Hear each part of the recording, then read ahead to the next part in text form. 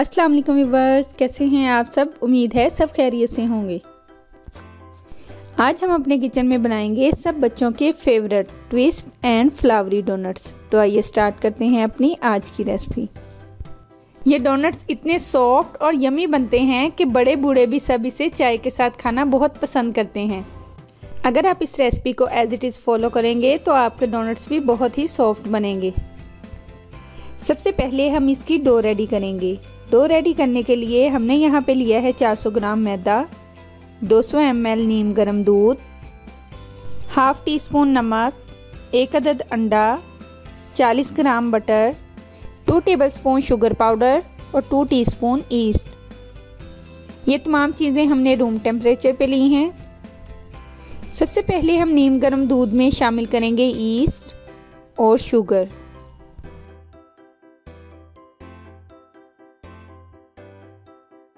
इन दोनों चीज़ों को मिक्स करके हम इसे ऊपर से कवर कर देंगे और फाइव मिनट के बाद इसे चेक करेंगे।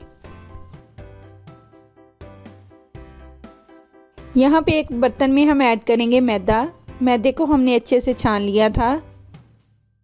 इसके बाद इसमें जाएगा नमक।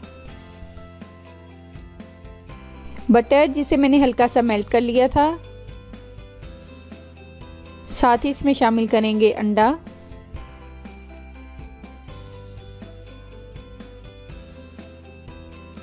ईस्ट जो कि हमने दूध में शामिल करके रखी थी, इसका टेक्सचर भी फॉमी हो चुका है। इट मीन्स ये बिल्कुल ठीक है।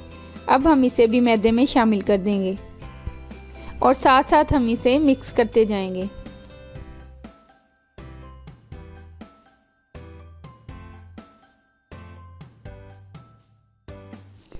अब हाथों पे हल्का सा ऑयल लगा के हम इसे छः से सात मिनट के लिए नीट करेंगे।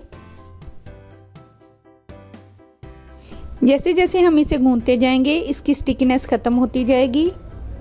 डो हमने सॉफ्ट ही रखनी है, इसको हार्ड नहीं करना। अगर आपको हार्ड लगे तो आप इसमें थोड़ा सा नीम गर्म दूध और शामिल कर सकते हैं। अब एक एयर टाइट जार में हम थोड़ा सा कुकिंग ऑयल लगा के डो को इसमें रखेंगे और ऊपर से कवर कर देंगे। अब हम इसे किसी वार्म प्लेस पे एक घंटे के लिए रख देंगे ताकि ये अच्छे से राइज़ हो जाए। या फिर इतनी देर के लिए रखेंगे कि ये साइज़ में डबल हो जाए। एक घंटा गुजरने के बाद ये बहुत अच्छे से राइज़ हो चुकी है। अब फिर हम इसे दो से तीन मिनट के लिए गूंदेंगे। अब हम इस डो को 12 हिस्सों में डिवाइड करके इस तरह से राउंड शेप में रेडी कर लेंगे।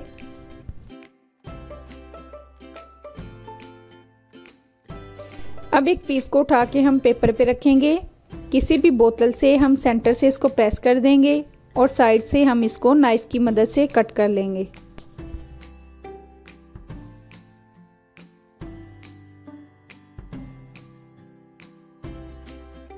अब फिंगर की मदद से हम किनारों को प्रेस करेंगे और एक फ्लावर शेप में रेडी कर लेंगे। हाफ़ डोनट्स हम इस तरह से रेडी कर लेंगे और हाफ़ को हम ट्विस्ट शेप देंगे। फिर से एक पीस उठाएँगे, उसे हल्का सा हम प्रेस करेंगे।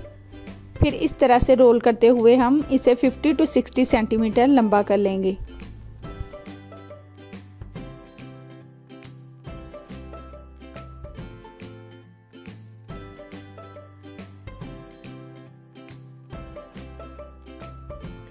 और इस तरह से इसे ट्विस्ट कर लेंगे। जब तमाम डोनट्स रेडी हो जाएँ तो हम इन्हें ऊपर से कवर करके तकरीबन 20 से 25 मिनट के लिए दोबारा से इन्हें राइज़ होने के लिए रख देंगे। यहाँ पे हमने फ्लेम ऑन करके एक पैन में लिया है कुकिंग ऑयल इसे हम बहुत ज़्यादा गर्म नहीं करेंगे, बिल्कुल हल्का सा गर्म करेंगे। और वन बाय वन हम थ्री से फोर डोनट्स इसमें ऐड कर देंगे। कुकिंग ऑयल में डालने के बाद ये बहुत ज़्यादा फ्लफ़ी होने लगते हैं, इसलिए आप इसमें टू से थ्री डोनट्स ही ऐड कीजिएगा। इन्हें हम लो फ्लेम पे ही कुक करेंगे, वरना ये अंदर से कच्चे रह जाएँगे। थोड़ी देर के बाद जब एक साइड पे कलर आ जाए तो हम इनकी साइड चेंज कर देंगे। ताकि ये दोनों साइड से कुक हो जाएँ और इन पे एक अच्छा सा कलर आ जाए। ये रेडी हो चुके हैं, अब हम इन्हें बाहर निकाल लेंगे।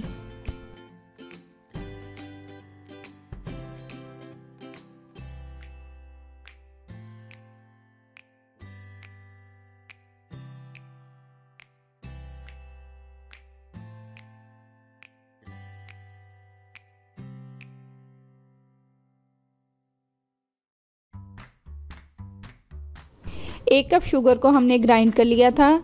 अब ये गरम गरम डोनट हम इसके ऊपर रखेंगे और हल्की हल्की शुगर लगा के बाद में इसे अच्छे से झाड़ लेंगे। आप अपने बच्चों के टेस्ट के अकॉर्डिंग इस पर न्यूटेला जैम या फिर कोई सी भी चॉकलेट मेल्ट करके ऊपर लगा सकते हैं। मैं ऑलरेडी चॉकलेट वाले आपको सिखा चुकी हूँ, इसलिए आज हमने शुगर वाले रेडी किए हैं। फूलों के किनारों पे हम हल्की सी चॉकलेट लगा के इनको इस तरह से डिक्योर कर लेंगे।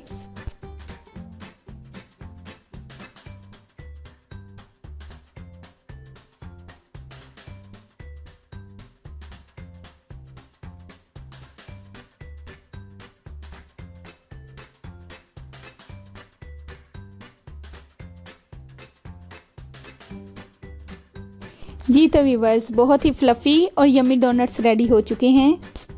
आइए चलते हैं इनकी फ़ाइनल लुक की तरफ़। अगर आपको हमारी आज की रेसिपी अच्छी लगी हो तो लाइक और शेयर ज़रूर कीजिएगा। अगर आपने हमारा चैनल अभी तक सब्सक्राइब नहीं किया तो जल्दी से कर लें और साथ में लगे बेल आइकन को भी ज़रूर प्रेस कीजिएगा, ताकि हमारी हर आने वाली नई रेसिपी सबसे पहले आपको मिल सके। इसी के साथ मुझे दीजिए इजाज़त, अपनी दुआओं में याद रखिएगा। अल्लाह हाफिज़।